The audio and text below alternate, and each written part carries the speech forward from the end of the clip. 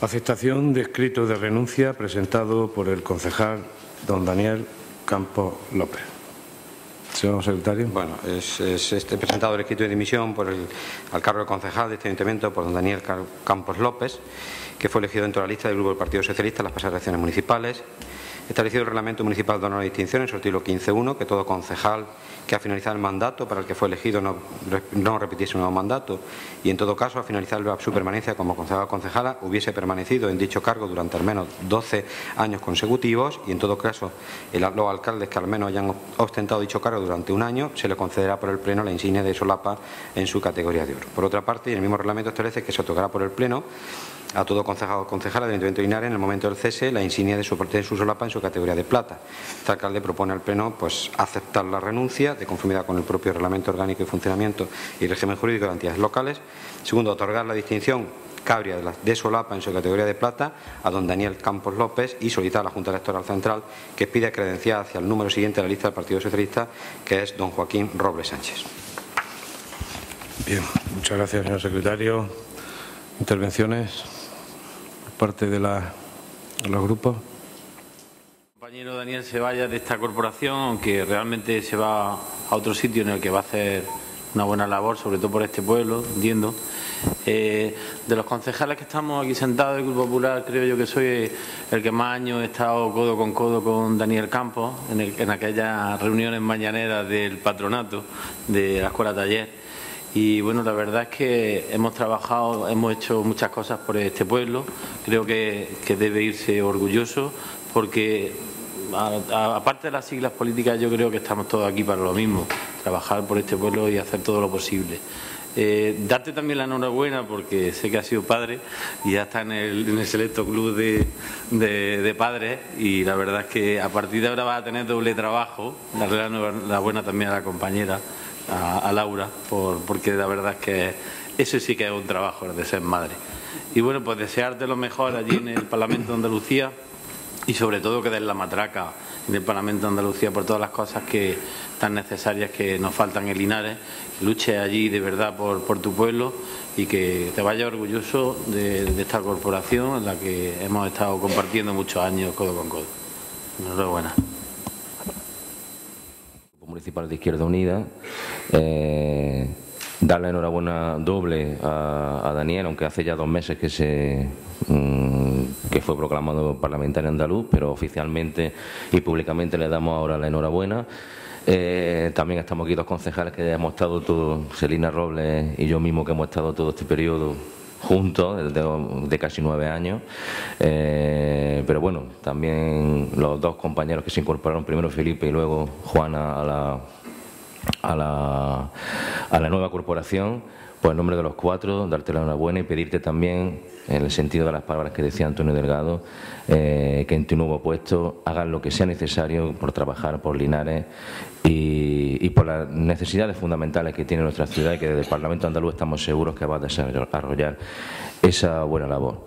Y luego, con independencia de, de estas palabras, en, a título ya personal, eh, sí me gustaría decirte un, par de cosas, hablar de un par de cuestiones solo, eh, que creo que han, que han, de alguna manera han sido fundamentales en nuestra relación como concejales, incluso como amigos, porque yo creo que, que somos amigos. La primera es la cuestión de la memoria histórica, que para los dos ha sido, en nuestro encuentro y desencuentro, ha sido una, una pasión.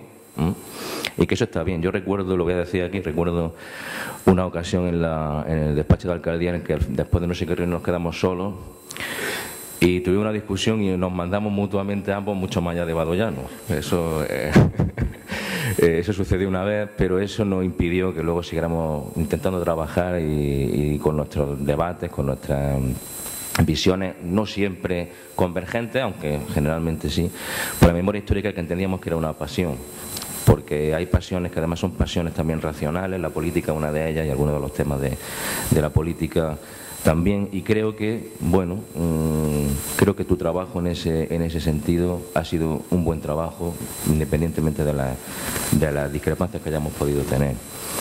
Eh, y luego la segunda cuestión el azar quiso que nos, encontrásemos en esta corporación un licenciado en filosofía metido a profesor de historia y un licenciado en arqueología metido a profesor de filosofía. Imaginaos las posibilidades eh, matemáticas y especulativas de esta cuestión, los debates que hemos podido tener. Y entonces yo, eh, ahora que parece que vuelven a, a las grandes tribunas de la política la cita a los grandes pensadores, como veíamos el otro día en el, en el Congreso de Diputados, pues yo me voy a permitir una licencia ¿eh?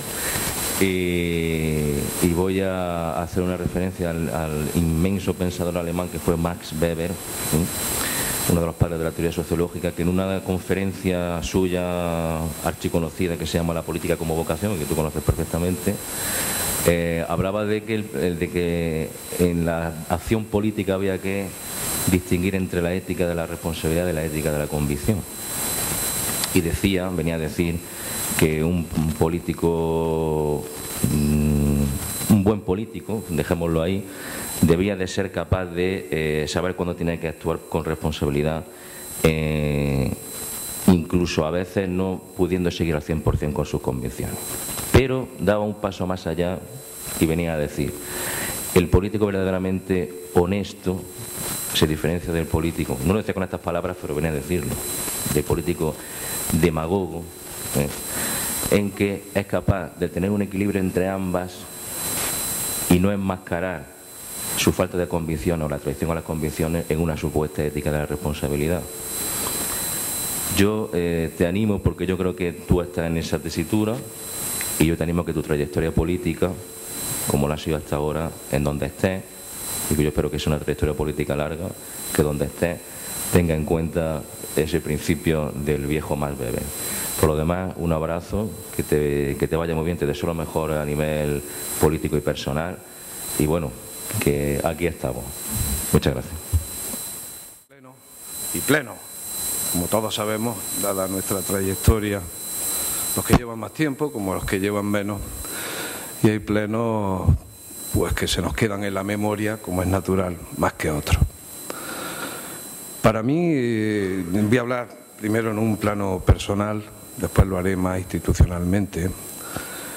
Eh, yo siento pesar cuando, en este caso, y uno de los míos, pues abandona este salón de pleno. Lo abandona, entre comillas, porque le hemos encargado otra tarea otra tarea distinta en otro lugar, pero en representación siempre de los mismos intereses que aquí nos ocupan. Y yo sé que Dani sabe eso. Pero digo pesar pues porque mm, le voy a decir y entenderlo, yo le digo muchas veces, niñato, el niñato este yo lo quiero mucho y le tengo muchísimo cariño en lo personal. En lo institucional, pues como es natural, eh, perdemos un elemento importante, importante por toda su contribución a lo largo de todo este tiempo que ha estado trabajando para esta corporación municipal desde el equipo de gobierno socialista. Y lo ha hecho bien y muy bien. Y hemos conseguido cosas que estaban ahí en el tintero desde hace muchísimo tiempo y hemos escrito líneas, o con esa tinta se han escrito líneas sobre Linares, sobre sus patrimonio, sobre su memoria histórica y sobre otra serie de, gestión allá de las áreas que ha desempeñado desde la participación ciudadana o desde la eh, salud y consumo y demás. Muchas gracias, Dani, por todo ese esfuerzo. Gracias por tu entrega. Como esto no es una despedida, lo que sí te damos es mm, toda nuestra fuerza y te deseamos nuestros mejores, eh, eh, no solamente nuestros mejores deseos, que sabemos que lo vas a hacer bien, por la capacidad que tienes y lo que has demostrado ya en muchas ocasiones. La tarea que te espera mm, es distinta, pero como decía anteriormente, viene a ser la misma. Esto lo que aquí defendemos, algo que tú tienes introyectado y claramente y nítido en tu interior y en tu pensamiento y sobre todo en tu vocación política y, ciudadana y, tu convicción personal. Va a desempeñar tu trabajo allí en, un, eh, en, otro, en otro foro donde las cosas son distintas y donde lógicamente confluyen intereses de otros territorios. Como te decían los anteriores compañeros de corporación, tanto como Antonio, Antonio como Sebastián, mm, es verdad que hay que dar la matraca. Hay que dar la matraca porque tenemos muchas cuestiones en esta ciudad que dependen de la gestión de nuestra comunidad autónoma y tú vas a estar en el Parlamento, donde de hecho mm, ya está haciendo cosas en ese sentido y allá donde la comisión que, que perteneciera y de hecho ya lo hemos hablado las que más nos interesaba que, estuviese y así, así las, las has elegido. Por lo que te damos las gracias también por ese, por ese compromiso y que hagas llegar pues el sentir que ya lo conoces que ya lo tienes, que esos sentimientos que, has mamado aquí, que, hemos generado entre todos por, necesidad, por obligación y por responsabilidad. Allí donde estás que sé que lo vas a hacer bien y muy bien.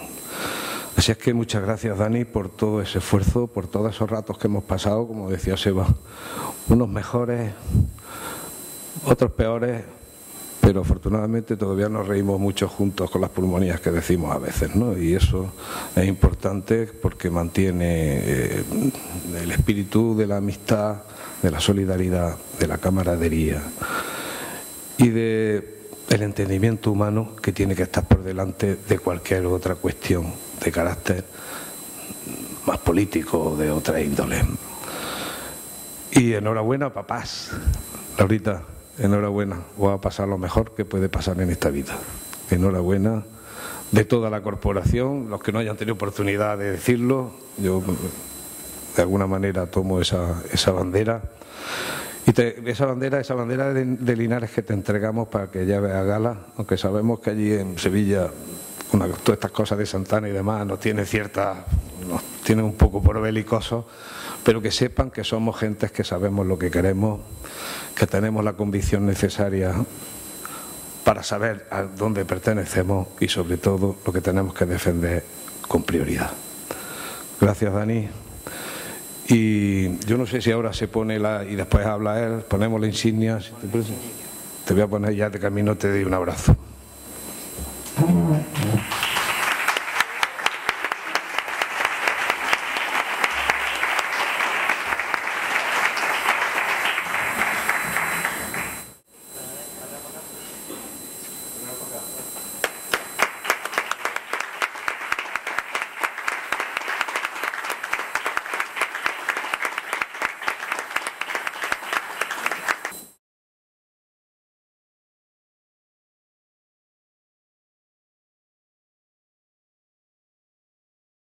Hoy, ahora no pueda estar aquí en este acto, no por ello estoy ausente. ¿Sabe de quién hablo, no? Aunque estas palabras puedan resultar personales, no dudes que reflejan el sentido de todos y cada uno de los que componemos la Asociación Provincial de Parkinson. Nuestra asociación quiere agradecer públicamente el buen hacer de las concejalías que te han sido encomendadas y especialmente el compromiso demostrado con el movimiento asociativo. Nuestra asociación ha tenido la suerte de poder relacionarse con tu persona encontrando siempre una mano amiga. Ahora toca otro tiempo, otro lugar para el que te deseamos lo mejor y para el que te exigimos igual implicación en pro de políticas de igualdad y bienestar con el convencimiento absoluto que así será, porque así eres tú, una persona de convencimiento de justicia social. Y ahora voy a meter una morcilla mía lleva a Sevilla la misma alegría, optimismo y conciliación que nos ha dicho aquí ahora. Lo dicho, buen día, buena suerte amigo, aquí estaremos, aquí nos reencontraremos.